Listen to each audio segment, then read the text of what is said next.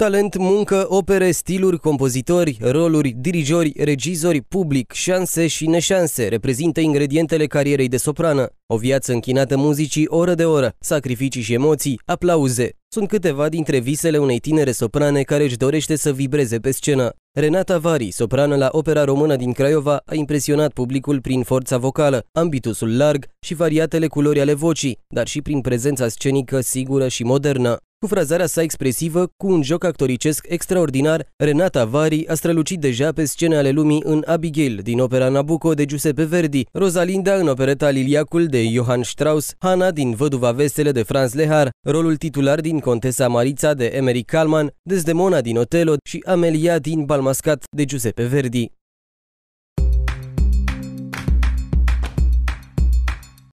O am alături de mine pe Renata Vari. Uh, Bine te-am găsit, Renata! Și eu bine v-am găsit. Mă bucur foarte tare că am putut să ne întâlnim, să stăm de vorbă. Înainte de toate, înainte să-ți mulțumesc că ai acceptat invitația noastră, vreau să spun la mulți ani. Pentru că astăzi este ziua ta. La mulți ani și tot ce-ți dorești tu, multe realizări pe scenă, acolo unde este viața ta și multă fericire din partea noastră. Vă mulțumesc, uh, în primul rând, vouă, pentru că ați fost foarte drăguți cu mine și uh, m-ați invitat la această emisiune. Și, în al doilea, uh, doilea rând, vreau să mulțumesc tuturor care mi urează la mulți ani astăzi. Sunt foarte fericită că oamenii se gândesc la mine și îmi dau seama că uh, am o importanță în lumea asta și sunt iubită. Asta e cel mai important pentru mine.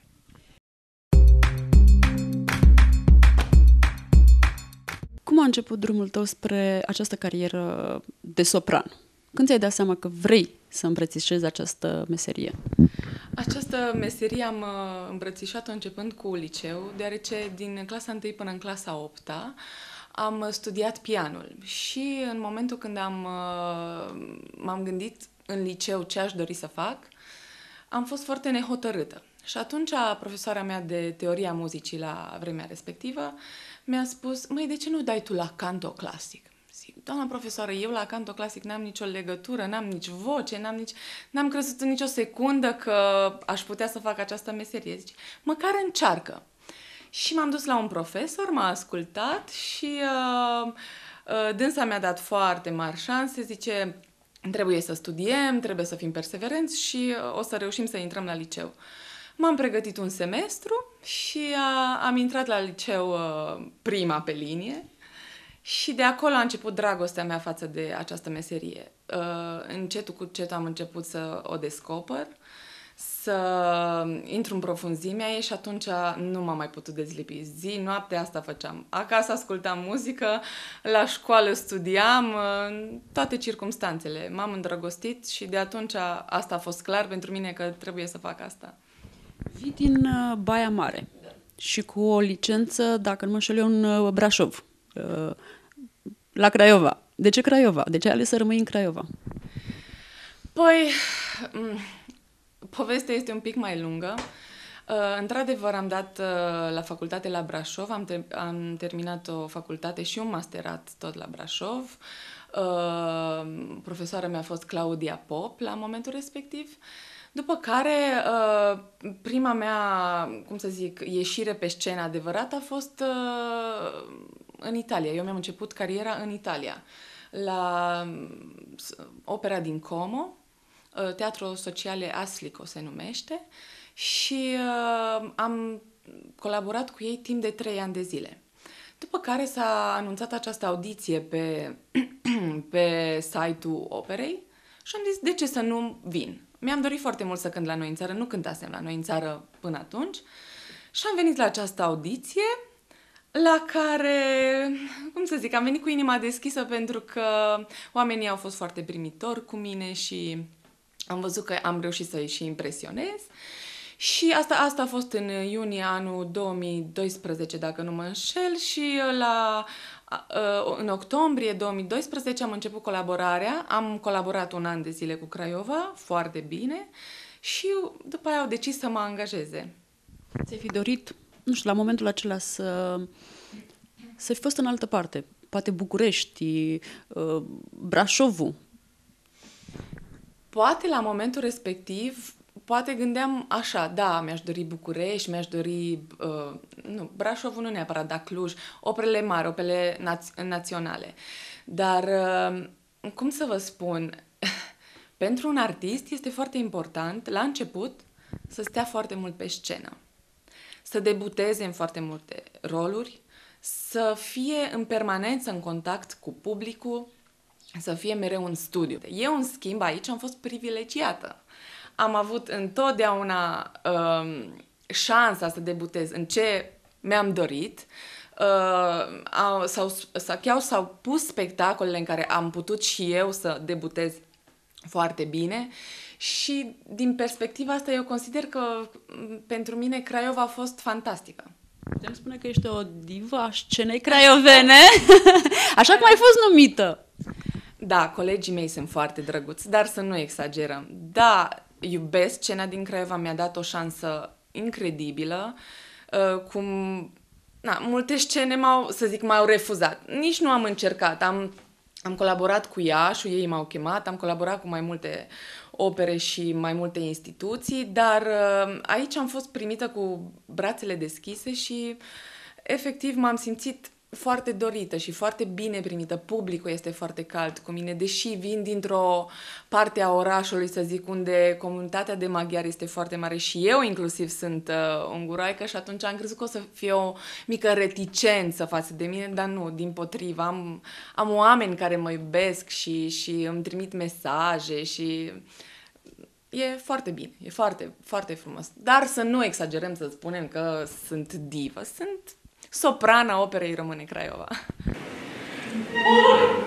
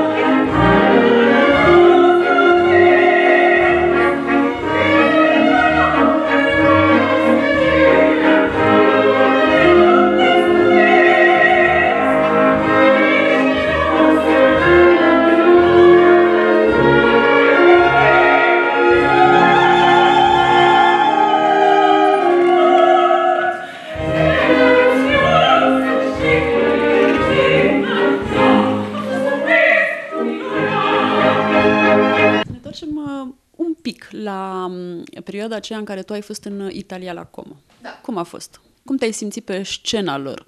Uh, faci acum o diferență între publicul uh, craiovean, între publicul um, românesc, să-i spunem așa, ascultătorii da. români și cei italieni? Este vreo diferență? Mm, cum să zic, da, există, normal că există diferențe. Eu am uh, început primul an în Como cu un proiect pentru copii. Ei își educă copii de mici să meargă la operă. Și am făcut proiectele astea timp de șase luni de zile, făcând și câte trei spectacole pe zi. uh, prin uh, opere reduse, adică nu în întregime, nu trei ore, trei ore jumate sau două ore cât ar ține o operă, ci o oră și un pic, cât ar rezista copiii. Și uh, am cântat și pentru adulți. Ei sunt, cum să zic, foarte pregătiți de mici. Uh, îmbrățișează opera și este, este la, la ei acasă. Opera s-a născut acolo și atunci e normal că sunt mult mai deschiși, mult mai uh, activi din punctul ăsta de vedere. Dar uh, nici, nici în România nu ducem lipsă de public și de, de spectatori. Uh, diferență, diferență, cum să zic, atunci eram foarte tânără, adică, na, cu câțiva ani. și acum. Da, dar eram la începutul carierei, eram foarte emoționată, foarte... aveam tracul scenei, desigur, era, na, ca la început, dar acum deja am altă siguranță, altă experiență, cam asta ar putea să fie diferența, să zic așa. Scena întotdeauna e scenă oriunde ai fi. Ai aceeași responsabilitate, trebuie să fii foarte pregătit, trebuie să fii într-o formă bună întotdeauna, chiar dacă nu ești. Așa că asta nu contează că e Craiova, că e București, că e Italia, că absolut nu are importanță. Și pentru că ne-ai vorbit despre public, cât de mult contează publicul pentru tine? Păi, fără el nu existăm, fără public. El este cel care ne, ne, ne aplaudă, cel care ne răsplătește pentru, ele, pentru public existăm noi, de fapt, nu? În fond și la urmă urmei, artiștii. Pentru public sunt. E foarte important publicul. Îți dă energie. Contează reacția lor de, din seara de spectacol. Foarte tare, foarte tare. Depinde de public, se simte de la prima intrare pe scenă energia respectivă. Dacă sunt uh, foarte receptivi, aplaudă, este, îți dă energie, îți dă încredere în sine, faci un spectacol fantastic. Dacă îi simți așa că mm, sunt obosiți astăzi și nu prea au chef de spectacol, atunci na, tot te încurajezi, dar există sigur diferențe. Care este rolul tău preferat până la această oră?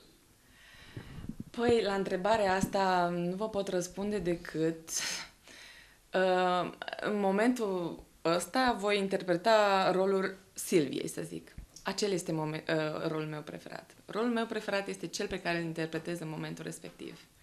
Mă, cum să zic, mă transform în personaj, sunt acolo, uh, nu pot să mă gândesc la alt rol care mi-ar plăcea sau la a, unul preferat. Îmi place ăla cel mai mult care îl joc în momentul respectiv. Și cum te pregătești pentru rol? Aoleu! mult și asta în timp.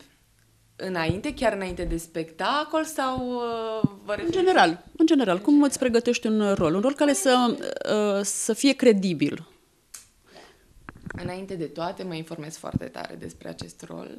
Citesc despre uh, compozitor ce a vrut să transpună în această lucrare, pentru că poate eu am o viziune, compozitorul a avut o altă viziune. Uh, mă informez foarte bine, așa începe tot, toată munca, după care iau partitura la puricat, cum se zice, așa, și uh, încep să studiez arie cu arie, duet cu duet, lucrare, absolut fiecare părticică din lucrare, după care urmează studiu cu pianistul, după care cu dirijorul, după ansamblu și după aia începe regia și urmează spectacolul.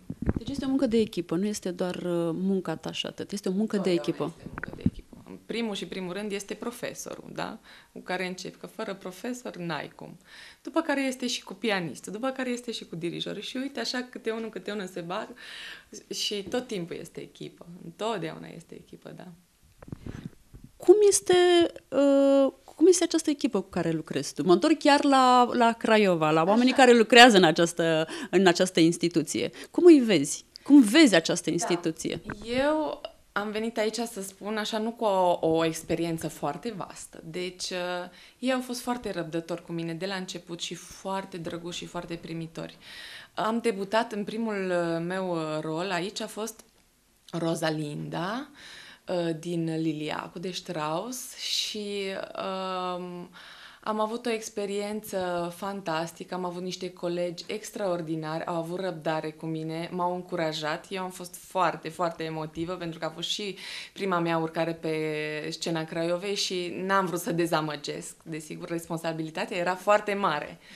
Dar uh, și Arabela, și, um, regizoarea, um, de, asistenta de regie, de fapt, uh, și domnul director a fost uh, foarte îngăduitor și înțelegător, pentru că eram fără experiență, trebuia, cum să zic, să accepte situația respectivă și să aibă răbdare cu mine, desigur, pentru că a, aia eram la momentul respectiv și tot timpul mi-au dat mai multe șanse, mai multe șanse să mă dezvolt. Și la ora asta, eu insist, la ora asta, dacă ți s-ar uh, oferi o șansă pe o altă scenă. Dar mi s-a oferit mereu când și în străinătate, mereu am colaborări și cu străinătatea, cu uh, scenele din, uh, din România. Dar asta Dar nu rămâi olteanca noastră. Dar asta nu înseamnă de ce aș părăsi locul care m-a format în fond și la urma urmei și în care mă simt atât de bine. E foarte frumos să auzi așa ceva, un om care vine din, uh, dintr-un alt loc, în România, dar uh, de undeva, din, da. de unde se atârnă harta în cui, cum se da. spune, și să spună, nu, n-aș pleca din Craiova pentru că aici m-am format. Cum să vă spun, eu sunt un om foarte deschis și în meseria asta um, te adaptezi. Eu foarte ușor mă adaptez. Pot să trăiesc și în hoteluri, zi de zi să schimb hotelul, cum am fost în turneu. Pot să trăiesc uh, o lună, două și în Germania, pot să trăiesc o lună, două și în Italia și după aia să trăiesc un an în Craiova. Eu mă simt bine oriunde.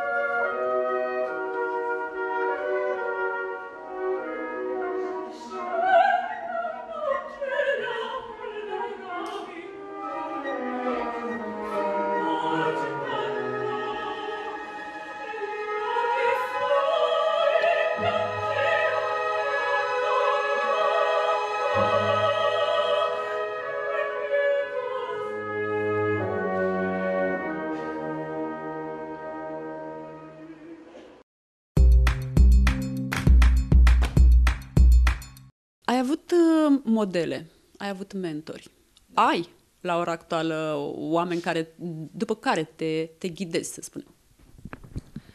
Da, cu siguranță. Întotdeauna am nevoie de un mentor și în meseria asta până, până la 50 de ani poți să ai mentor pentru că cor, corpul se dezvoltă, vocea se dezvoltă, corzile se cresc și se maturizează și atunci normal că noi întotdeauna ne dezvoltăm și de fiecare dată trebuie să creștem. Și atunci ce, ce se întâmplă? Ai ajuns la un anumit nivel, da? La nivelul respectiv poți să faci un anumit rol, da? Dar după care iară crești și iară poți să mergi mai departe la un alt rol. Și întotdeauna trebuie să existe acești mentori care ne călăuzesc drumul. Uh, eu am trecut prin mai mulți profesori, să zic așa. Uh, la ora actuală n-aș vrea să pomenesc numele că poate dânsa nu-și dorește, dar uh, simt că acum, acum îmi găsesc drumul cel mai bun de până acum, să zic. Drumul încântat. Tehnica și tot ceea ce ține de, de cântat în operă. Îți petreci foarte mult timp pe scenă. Din câte observ eu. Uh, mai ai timp liber? Da, am foarte mult timp liber. Wow! Adică, uh, sunt perioade când sunt foarte aglomerat, adică sunt de dimineață până în seara la operă. Ori aici, ori în turneu trei săptămâni, ori plecat în Germania două luni. Dar sunt perioade, cum au fost uh, acum uh, două săptămâni, în care efectiv n-am avut absolut nimic de, de făcut decât de studiat. Întotdeauna studiez, în fiecare zi mă antrenez și am petrecut uh, sărbătorile cu familia mea. Am timp liber mereu, întotdeauna îmi fac timp liber pentru sport, pentru activitățile sportive, întotdeauna îmi fac timp pentru oamenii dragi, să petrec timp pentru că mă încarcă fantastic, pentru familie, întotdeauna. Am timp liber, nu, nu se poate altfel, trebuie să ne încărcăm. Uh, care sunt uh, satisfacțiile pe care ți le aduce această meserie, această pasiune? Sau uh, regrete? Nu știu. Nu, regrete n-am. Nu cred că aș avea un regret. Cum să zic, în momentele grele, că nu suntem nici noi tot timpul incredibil de bine, dar în momentele grele uneori îmi zic, pentru ce mi-a trebuit mie meseria asta? Pentru ce mi-a trebuit mie să aleg, să, să mă zbat atât, să mă, să mă, da, să mă lupt pentru mine. Da, uneori îmi vine să spun că oh, puteam să-mi aleg și eu ceva mai ușor, dar sincer nu mi-aș putea imagina să fac altceva, iar satisfacțiile sunt foarte mari atunci când uh, ești mulțumită de tine. Adică, ok, publicul și oameni din jurul tău întotdeauna te vor aprecia și te vor susține. Dar pentru mine satisfacția cea mai mare e atunci când am zis, da, astăzi am cântat foarte bine. Și ce se întâmplă extrem de rar pentru mine să zic, mamă, ce zi am avut. Și aplauzele și felicitările cred că sunt uh, da, motive sigur, care... Desigur, desigur. Dar uneori eu cel puțin sunt așa dacă oamenii mă aplaudă și uh, mă felicită atât de tare și eu nu sunt așa de mulțumită, parcă nu pot să le savurez așa de tare ca și cum aș fi și eu mulțumită de mine. Atunci chiar cred în acele aplauze. Așa am impresia uneori că sunt aplaudată pentru că trebuie să fiu aplaudată. Dar când am și o satisfacție că am, am avut uh, o prestație bună, atunci da, sunt, sunt foarte satisfăcută. În această muncă au existat și sacrificii? Aoleo, mereu. Tot timpul. Să începem de la, de la liceu, când în clasa 12 mă pregăteam să mă duc la Brașov. Făceam în fiecare weekend naveta la Brașov, Brașov Baia Mare să mă pregătesc cu doamna profesoară. Asta a fost în clasa 12 după care a fost facultatea în care întotdeauna, bine să nu mai zic de sacrificiile financiare care le-au făcut părinții mei pentru mine, deci de asta să nu mai spun. Uh, sacrificii. Păi, la noi, artiștii, când erau sărbători, când erau vacanțe, când erau momente importante, zi de naștere, noi tot timpul munceam. Da, noi tot timpul eram pe scenă și suntem întotdeauna pe scenă. Un alt sacrificiu fantastic de mare pentru mine este că nu pot sta alături de familia mea. Asta e greu. Da, foarte chiar greu. cum, uh, cum reziști tu, cum rezistă, rezistă familia ta. Uh, sunteți foarte departe unii de, da. de, de alții. Păi Skype, Facebook, uh, telefoane, mama mea nu există zi să nu mă sune o dată de două ori, de trei ori uneori, deci uh, în contact mereu, dar ne vedem destul de rar, uh, iar pentru mine este și mai greu de când am doi nepoței minunați și eu m-am așa foarte tare de ei. Na, pentru că mie mai, mi-e mai greu să-mi fac familie în momentul de, de față pentru că sunt foarte ocupată. Dar uh, abia aștept să ajung la ei acasă, să, să petrec timp cu ei și mă încarc extraordinar. Ador copiii. Renata, înainte să-ți mulțumesc pentru această discuție, cu siguranță vom reveni la tine, pentru că ai multe lucruri frumoase și interesante de spus. Uh, îți urez încă o dată la mulți ani, Mulțumesc. cu multă sănătate și vreau la final să facem așa un, um, un exercițiu așa. de imaginație. Da. Uh, dacă ar fi să-ți aduni, să-ți concentrezi toată viața ta de până acum așa. într-un personaj pe care l-ai interpretat, care ar fi acela? Și de ce? Este, viața mea într-un personaj pe care l-am interpretat. Sau, hai să spunem și pe care poate ți-ai dorit să-l interpretezi la un moment dat. E Silvia. Silvia, clar, este Silvia. De ce? De ce? Pentru că Silvia este o dansatoare de cabaret, o artistă, care m, reprezintă o față uh, strălucitoare pe scenă și o fericire întruchipată pe scenă și cu mare succes. Dar în uh, viața din spatele scenei uh, se desfășoară ce este în realitate, în viață. Și bine, da, cu final fericit. Atunci mie, mie îmi convine. Doamne ajută să fie așa. În, uh, în uh, scenă finalul nu este fericit? Uh, în scenă, deci în versiunea originală, este un pic sarcastic. Finalul este un pic așa sarcastic, dar depinde de abordare, de abordarea regizorală. Nor- De obicei este fericit. Dar în realitate este un fericit așa sarcastic, de foarte mare realitate. Foarte interesant. Uh, mulțumesc încă o dată pentru aceste minute. Uh, baftă de seară, pentru că știu că ai uh, spectacol și tot ce-ți dorești tu. Și o zi minunată, cu, nu știu, cu chef, cu petrecere, cu cei uh, care te iubesc, care te apreciază, care te aplaudă alături de tine uh, și mulțumim încă o dată. Vreau să vă mulțumesc și eu foarte mult pentru, acest, pentru această înt- întâlnire și aș mai dori să mulțumesc și Operei Române Craiova că mi-au dat această șansă să fiu soprana lor și uh, sper ca în viitor să nu îi dezamăgesc. Nici pe cei din conducere, dar nici publicul uh, al nostru, al operei. Amen.